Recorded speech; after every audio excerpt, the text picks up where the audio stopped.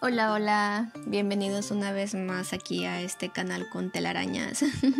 Hace un mes que no subo nada de contenido, la verdad es que me dio un super bloqueo artístico, se me atravesó lo de Linktober, que no hice yo la lista original, hice otra lista de Linktober, si quieren chonearme para ver lo que hice pueden visitar mi Instagram.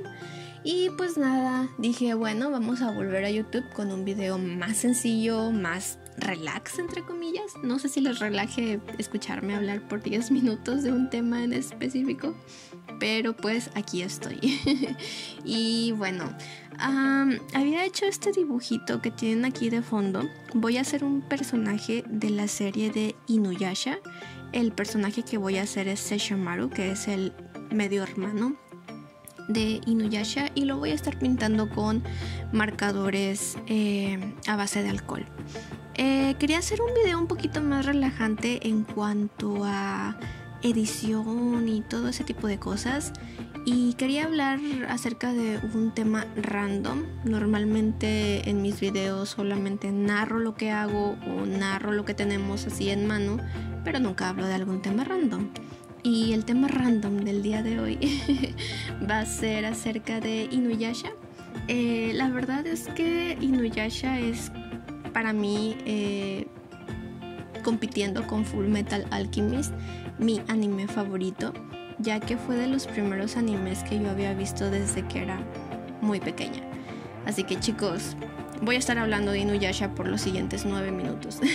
por favor, no se aburran. Y si se aburren, lo siento. Eh, bueno, mis inicios con Inuyasha fue cuando yo estaba en la primaria. Yo era muy pequeñita y me gustaba mucho ver televisión, entonces siempre le estaba cambiando a los mismos canales, Cartoon Network, Nickelodeon, Canal 5. No me acuerdo si existía Canal 5 en ese entonces. Yo tenía aproximadamente 6 años cuando vi Inuyasha. Creo que se estrenó aquí en Latinoamérica aproximadamente en el 2001, si no me equivoco. 2001-2002. Y me tocó, ver, el estreno del programa, así que pude ver el primer capítulo y me gustó muchísimo. Digo, era una niña pequeña, yo no entendía muchas cosas, pero la verdad el diseño y toda la historia me, me, me gustó mucho, más que nada el diseño de los personajes. ¿Qué vas a ver una niña pequeña acerca de la historia feudal de Japón y todas esas cosas? Y pues nada, la verdad es que pues pasaron los años y me tocó verla por completo.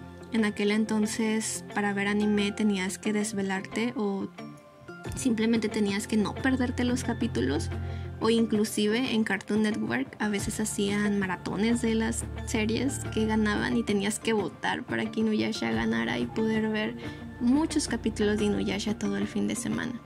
Creo que era la única manera en la que podías tú ver los capítulos completos, así que por muchísimos años mientras yo iba creciendo iba viendo nuevos capítulos.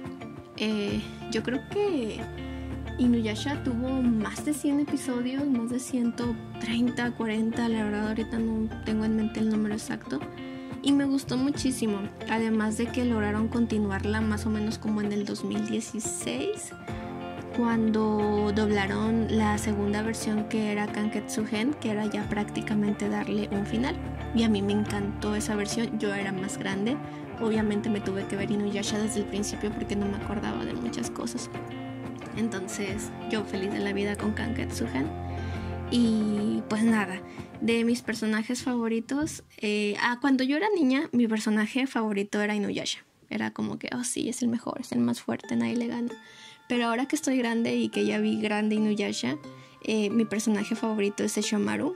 Me gustó mucho más que nada por la evolución que tiene como personaje de pasar a ser un demonio que odia completamente a los humanos por cientos de años a ser una persona, demonio, que les ayuda, les ayuda a los humanos. Solamente en el encuentro con Rin eh, le ayudó solamente a ella, sino que pudimos ver a lo largo de la serie que fue ayudando inclusive a Ome, a Kohaku y a muchos otros personajes. Entonces, Sesshomaru me gustaba muchísimo.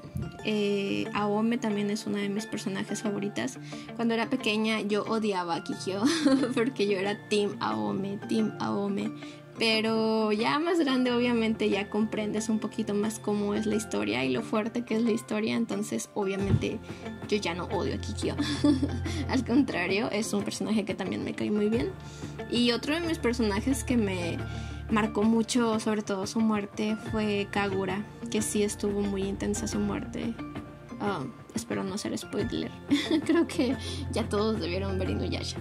Eh, y bueno, mi infancia revivió prácticamente cuando anunciaron que en octubre de este año iban a lanzar una secuela de Inuyasha, que era una historia completamente diferente, en donde las hijas de los protagonistas iban a ser las nuevas protagonistas.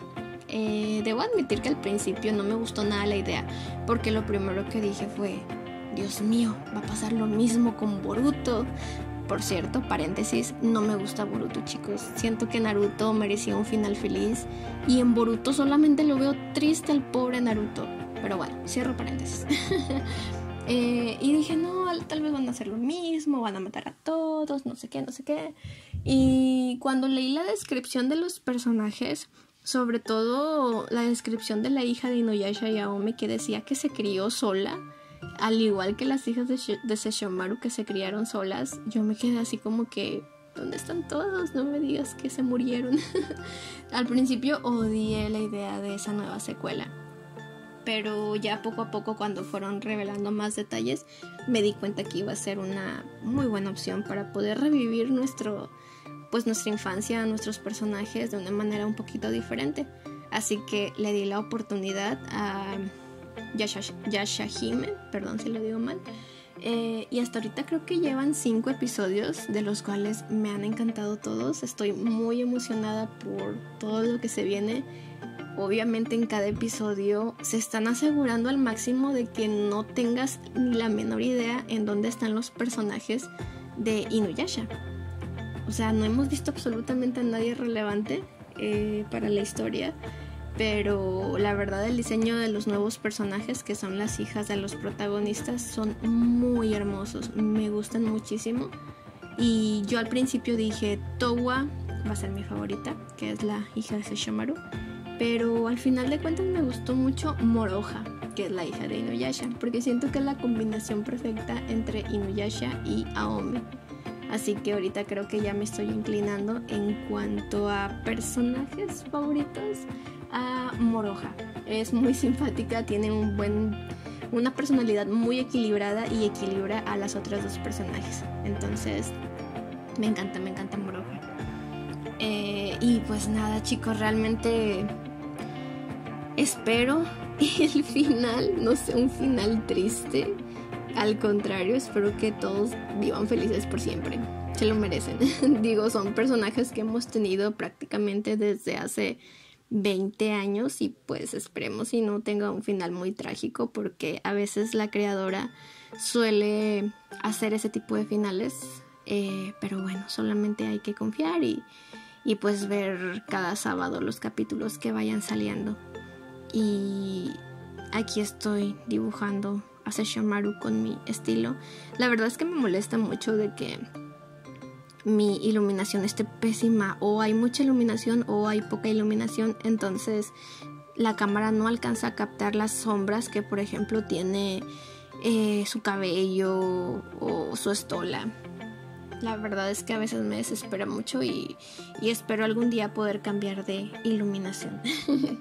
Pero sí, quería hablar un poquito acerca de, de Inuyasha, espero que no se hayan aburrido. Digo, prácticamente este video obviamente van, va a ser para las personas que les guste Inuyasha. Si les gusta este tipo de videos en donde hablo acerca de algo en específico, pueden decírmelo y puedo hablar acerca de algún otro anime, algún otro personaje más a fondo. Esto fue como que una mini prueba para ver cómo era un video así. Y pues nada chicos, espero que les haya gustado mi dibujito.